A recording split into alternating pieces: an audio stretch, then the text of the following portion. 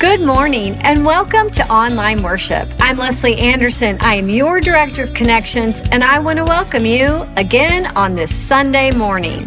In just a few moments, Pastor Jason's going to give us another Bible story that you need to know. If you have questions about Crossroads Global Methodist Church, email me at any time. But now let's prepare our hearts for the message. Online church starts right now. Hey, everybody, so good to be with you today. If you are tuning in for the first time ever, special welcome to you. My name is Jason Mulliver. I'm the directing pastor here. So glad that you have joined us today. Today, we are going to be looking at Luke chapter 14, verses 15 through 24. If you want to turn there in your Bible and hear this reading from God's Word, Luke 14, beginning at verse 15. When one of those who reclined at table with Jesus heard these things, he said to him, Blessed is everyone who will eat bread in the kingdom of God. But Jesus said to him, A man once gave a great banquet and invited many. And at the time for the banquet, he sent his servant to say to those who had been invited, Come, for everything is now ready. But they all alike began to make excuses. The first said to him, I have bought a field, and I must go out and see it. Please have me excused. And another said, I have bought five yoke of oxen, and I go to examine them. Please have me excused. And another said, I have married a wife, and therefore I cannot come. So the servant came and reported these things to his master. Then the master of the house became angry and said to his servant, Go out quickly to the streets and lanes of the city and bring in the poor and the crippled and the blind and the lame. And the servant said, Sir, what you have commanded has been done, and still there is room. And the master said to the servant, Go out to the highways and hedges and compel people to come in, that my house may be filled. For I tell you, none of those men who were invited shall taste my banquet. And this is the word of God for the people of God. Thanks be to God. Let us pray.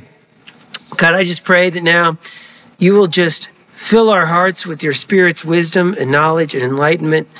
Let us hear what you want us to hear today through your word and through the opportunities you're presenting to us.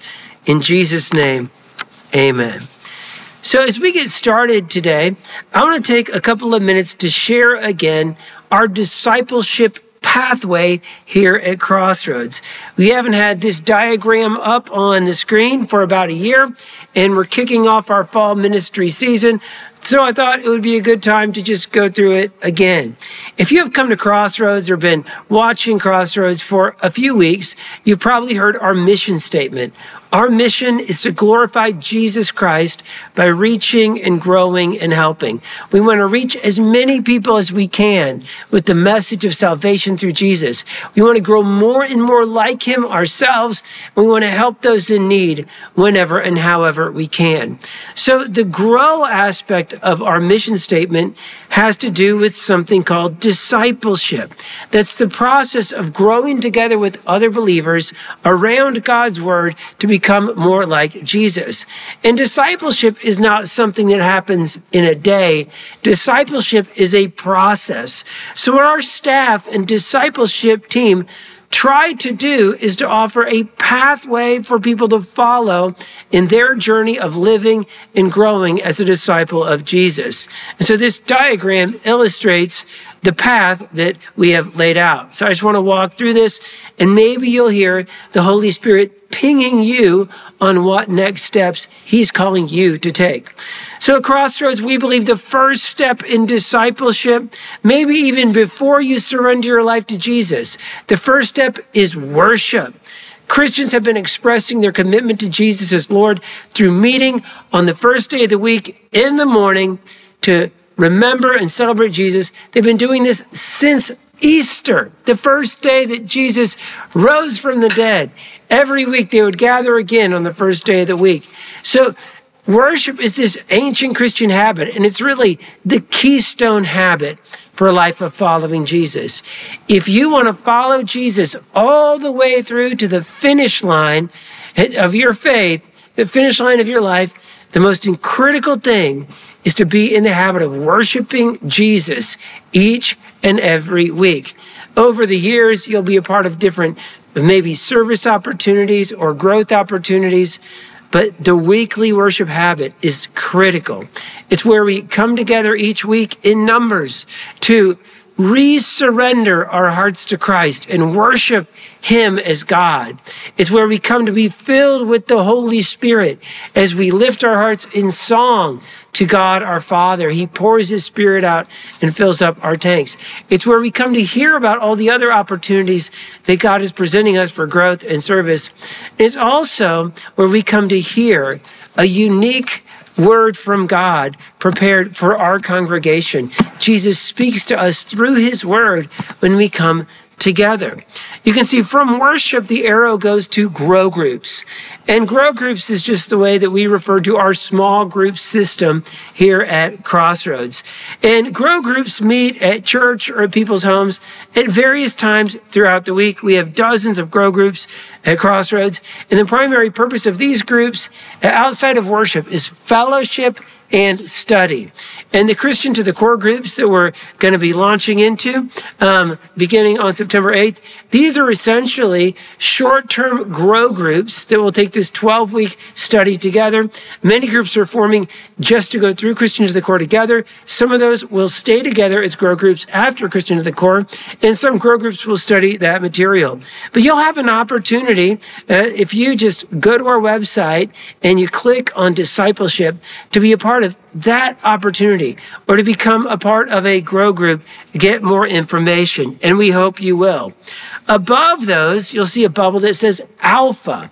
Now, Alpha is an amazing time tested course that for giving people an overview or refresher of the Christian faith and for answering a lot of questions that people have about Christianity. So if you feel the need to hit refresh, maybe go over the basics again, you will definitely be blessed by participating in the Alpha course, which is starting in just a few weeks. This fall here at Crossroads Alpha, we'll be meeting on Tuesday evenings. It will include a meal and a lot of great discussion. Not only is the material good, but we have some amazing leaders that run our Alpha program. Uh, Leslie Anderson, our director of connections, and her husband, Bob Anderson, they lead that together with Ray Lee. And it's a great course, great food, great fun. And I have personally gotten so much out of Alpha. I've led it several times, and that material has really sunk into my life. And I encourage everyone to go through that at least once. Now, to the right of the Grow Group bubble, you'll see Doing What Jesus Did. And this is a class a training course that my wife Janice and I and Holly Snyder lead along with a number of amazing table leaders. We started offering this class four years ago so that we could train people in spirit filled ministry. This class trains people in how to share their testimony with others, how to lead people to Christ, how to hear from God on other people's behalf through His Word and through the Holy Spirit, how to pray for others for healing and how to do spiritual warfare. This is to equip people to do what Jesus did, to do that kind of ministry. And as a congregation that's always striving to be more spirit filled and spirit led, we hope that everyone will eventually get an opportunity to take this training course. This year, our Doing What Jesus Did course will be meeting on Wednesday evenings starting on October 1st. If you haven't taken that, we hope you'll consider joining us. Under that bubble, you'll just see the word uh, in depth short term studies. And these are just kind of studies that pop up uh, for a season that cover a topic or a book of the Bible. And they're really great. And we had a number of really good ones this summer. And so those are just kind of sporadic that come up, and people often love those. Now, under that bubble, you'll see something called discipleship bands. And these are small groups of three to five people of the same sex who meet weekly or bi weekly for accountability and prayer. These are self forming groups where you grab somebody and say, hey, you want to start a discipleship band. We always offer materials for this at our welcome desk.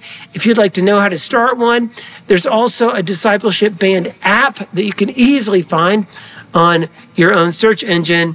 And I've been a part of one of these accountability groups for almost the entire 26 years that I've been following Jesus as an adult. So be praying and thinking how God is calling you to jump in this fall. We're so excited about these opportunities, a great menu of options.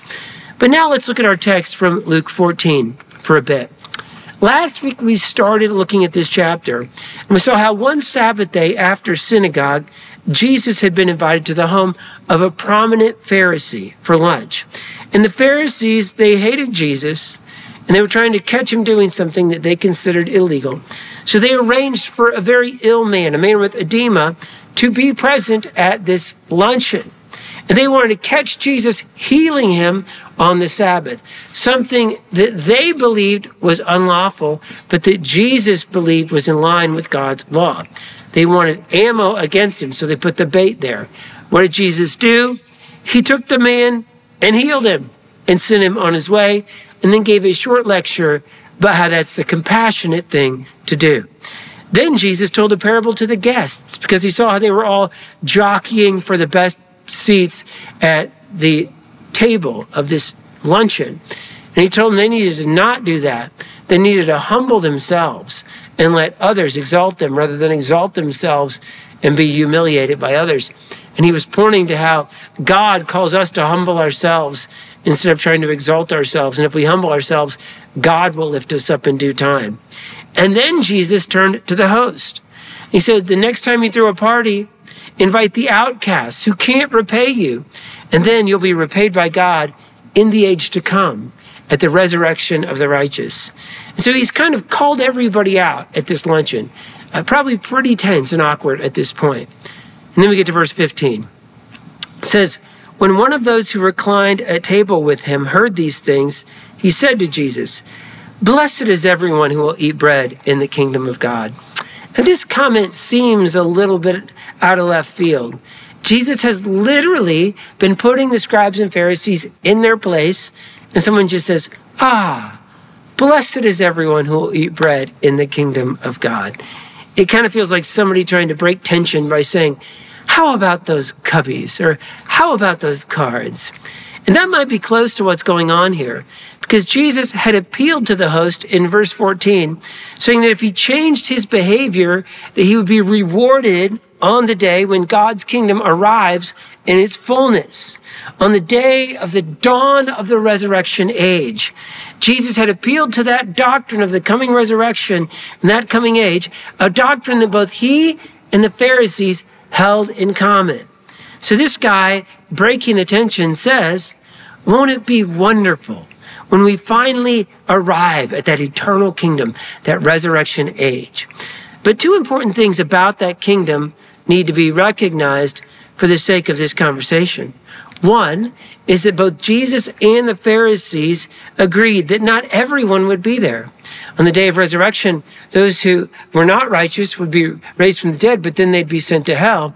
Only the righteous who were raised would go to this eternal kingdom in the resurrection age.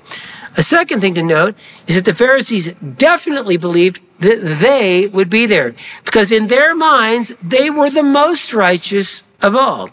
So then Jesus tells another parable to emphasize that the Pharisees need to rethink their confidence about their place in the eternal kingdom of God. And we can break this parable down into four sections the invitation, the excuses, the inclusion, and the exclusion. First, we see the invitation. Jesus starts in verse 16 by saying, A man once gave a great banquet and invited many. So, in ancient times, in Jewish life, an event like this would have been a huge deal. There was very little to break up the tedium of life in a primarily agricultural setting. There was very little water. It was dry and kind of oppressive. Uh, the, the, Romans were oppressing everybody. It wasn't pleasant. People had to work hard to get by, have enough food, have enough money each day. Now, the man depicted here would have been a man of great wealth because he was throwing a great banquet and many were invited. A party like this would have been the highlight of the year in a Jewish community, maybe the highlight of a decade. This is a huge banquet. People would be thrilled to be invited to such an event. Verse 17 At the time of the banquet, he sent his servant to say to those who had been invited, Come, for everything is now ready. So the way these events were communicated is that there would be an invitation sent out, kind of like an engagement announcement today, saying that a wedding was coming, watch the mail. So the first invitation will let people know the general time and place of the event, but people would have to RSVP to let the host know if they would be attending. And then there would be a lot of more variables before the exact event would be ready. There would be uh, the correct number of livestock would have to be gathered and butchered. All the fresh fish would have to be caught and become available. The vegetation and grain would need to be harvested and prepared. So the first invitation was a heads up to gather the guest list for the event, telling everyone, be ready, we're going to do this. Then, when the, everything was actually ready, a messenger would go around and tell everyone, now's the time Come to the party. All the food, all the festivities are ready. And so people would be waiting expectantly for this moment.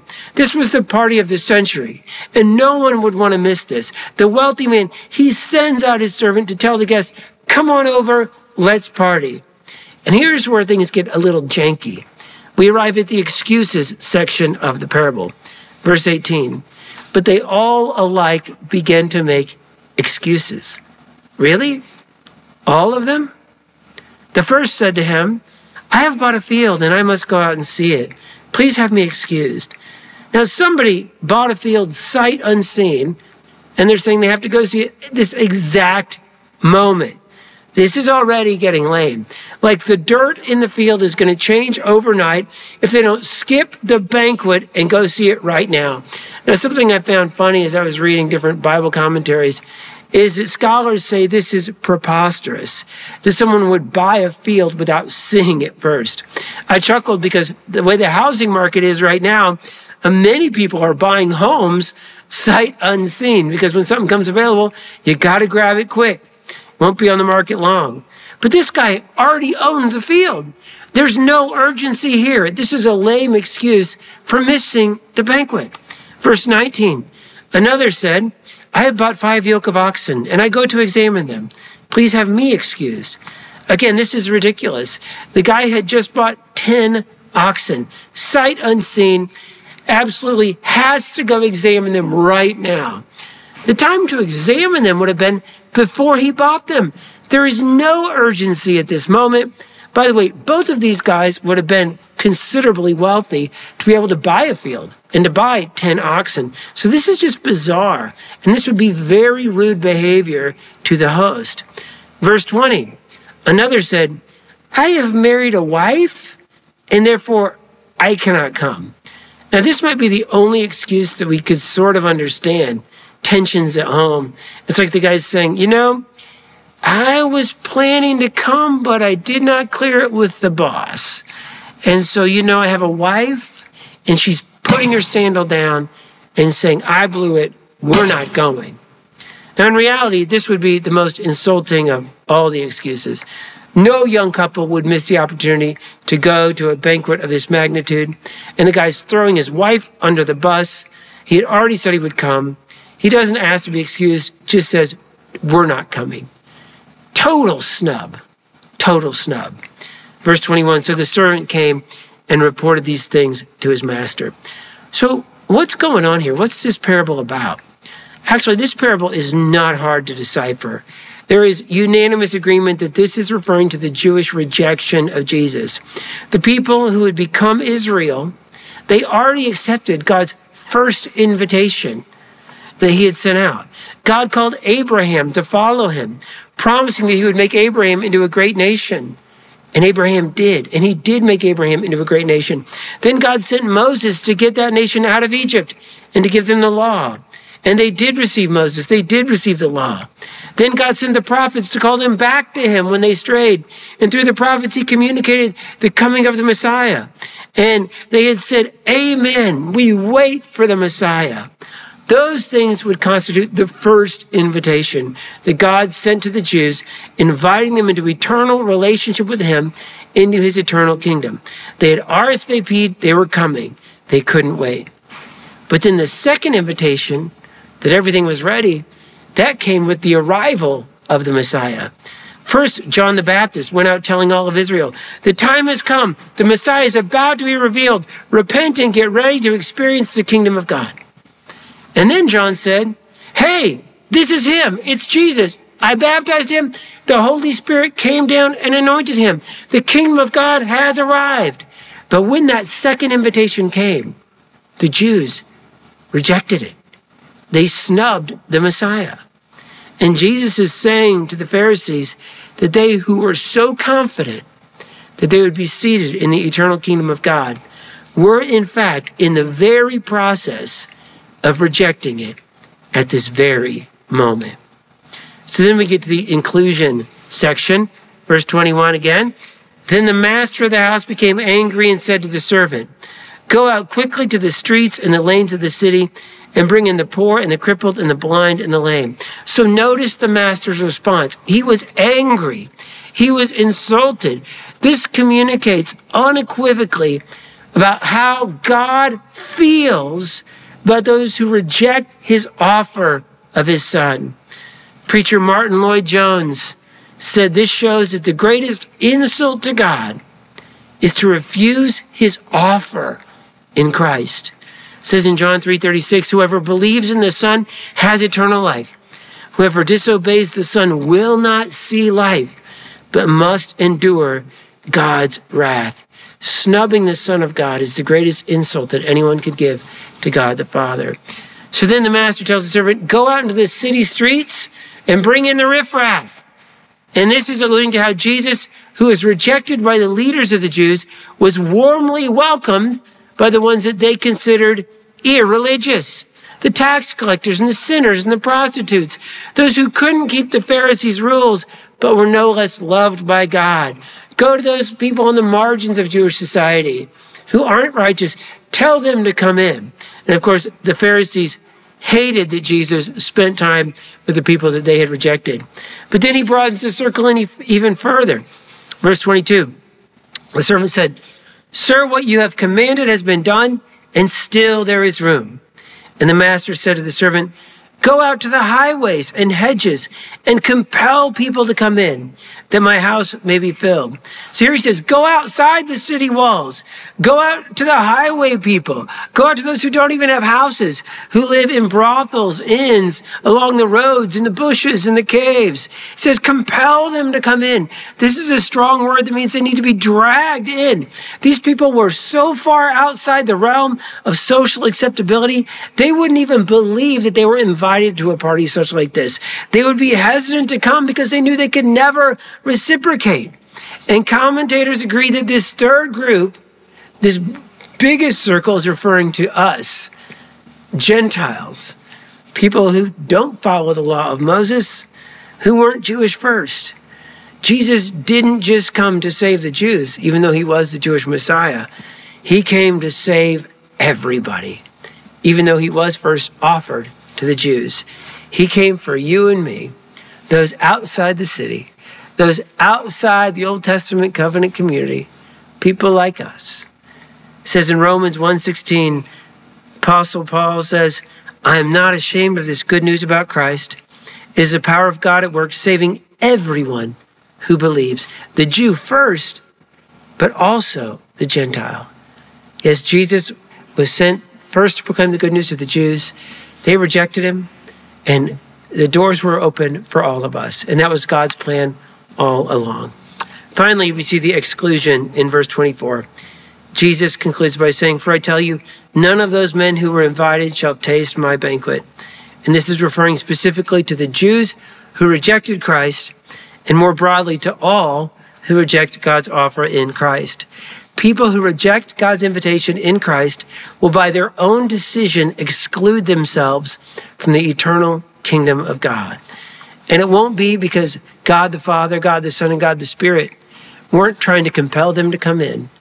God has sent his spirit to work on every person's heart. God sent his son to die for the sins of every person. God has sent missionaries and preachers and uh, people through social media. God's been appealing to people in dreams and visions in Muslim and Hindu countries. He's been speaking to people in near death experiences, trying to get people to come in. God has done everything but veto people's free will in order to get them to come in to his eternal kingdom. T.W. Mansfield summarized it well, saying, The two essential points in Jesus' teaching are that no man can enter the kingdom without an invitation from God, and that no man can remain outside it but by his own deliberate choice. So let me give some closing applications. Number one, the kingdom of God is the most wonderful thing. Jesus refers to the kingdom of God as a great banquet. And he's saying it's a party. It's the best thing that God has prepared for all who will come. This is the imagery that's found in the Old Testament book of Isaiah. This was the imagery that the Jewish people of the time held to.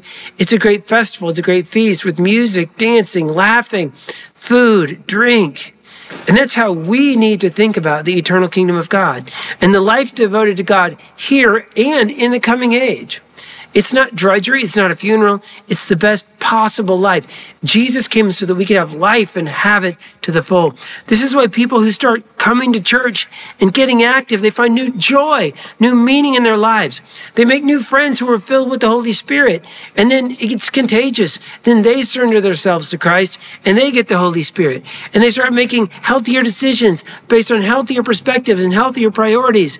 They experience the satisfaction, maybe for the first time in their life, of using their gifts to serve God and others in eternally significant ways. That's why these fall discipleship opportunities that we're offering, they're invitations to community, to growth, to joy, to discovery and fun. The community of God, both now and in the age to come, is wonderful and abundant and good. Number two, we must accept Jesus to enter the eternal kingdom. This is key to understanding this story. There is no other way to enter the eternal kingdom except through Jesus. Jesus said in John 14, 6, I am the way and the truth and the life. No one comes to the Father but by me. And just like the Pharisees, there are multitudes of people today who think they're going to heaven, but they're not.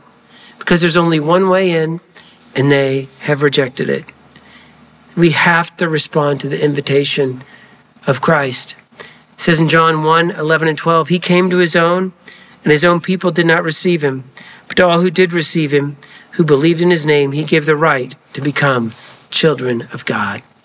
People, we have to believe in Him and receive Him to become eternal children of God. And this invitation is for everyone in the world, and it's also for each of us. Have you fully surrendered your heart and life to Jesus? Have you fully accepted God's invitation to eternal life and abundant life? Jesus died on the cross and paid for your sins. If you turn from your sin and accept Him wholeheartedly, you will be forgiven of your sins and adopted into God's eternal family and given the Holy Spirit. Have you been making excuses which sound very reasonable to you? It's time to lay those excuses down and come to the party. Finally, we see we must compel other people to come to this party. We who have already accepted God's invitation, we're now the servants, out calling everyone, winsomely inviting and encouraging everyone into this life with God. So this fall, I want to encourage you to keep inviting people as you go to sporting events, musical events, go out with your friends, carry invitation cards inviting people to church. When God opens a door, invite someone to join you. Send this online worship video to someone. If you're in a grow group or a Christian to the Core group, invite someone to join you. If you're taking alpha, invite someone to join you. Get a Crossroads t-shirt, wear it in the community. People ask about it, invite them to church. There is so much room in God's kingdom and we are his servants trying to compel everyone in this lost and hurting world to come home to God through his son, Jesus. Let's pray. Lord Jesus, Lord, help us all to fully embrace everything about who you are. Let us live wholeheartedly to you, and let us invite so many others to join us. God, no one comes to the Father but through Jesus. And it's our job to receive and then to invite. So compel us to do that in Jesus' name. As we pray, Our Father, who art in heaven, hallowed be thy name. Thy kingdom come, thy will be done, on earth as it is in heaven. Give us this day our daily bread, and forgive us our trespasses, as we forgive those who trespass against us. And lead us not into temptation, but deliver us from evil. For thine is the kingdom, and the power, and the glory forever. Amen. Now let us declare together what we believe. I believe in God, the Father Almighty, maker of heaven and earth, and in Jesus Christ, his only Son, our Lord who was conceived by the Holy Spirit, born of the Virgin Mary, suffered under Pontius Pilate, was crucified, dead, and buried. The third day he rose from the dead. He ascended into heaven and sitteth at the right hand of God the Father Almighty. From thence he shall come to judge the living and the dead. I believe in the Holy Spirit, the Holy Catholic Church, the communion of saints, the forgiveness of sins, the resurrection of the body, and the life everlasting.